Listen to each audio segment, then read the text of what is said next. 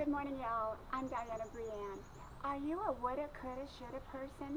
Well, a woulda, coulda, shoulda person is a person that's always looking back at their mistakes. I would've, I could've, I should've. Don't be a woulda, coulda, shoulda person because a woulda, coulda, shoulda person never gets ahead. They're always looking back. We all make mistakes throughout life, but they're really learning experiences, experiences that will take us to the next level.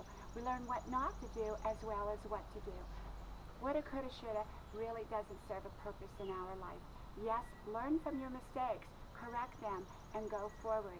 But don't live in a woulda, coulda, shoulda.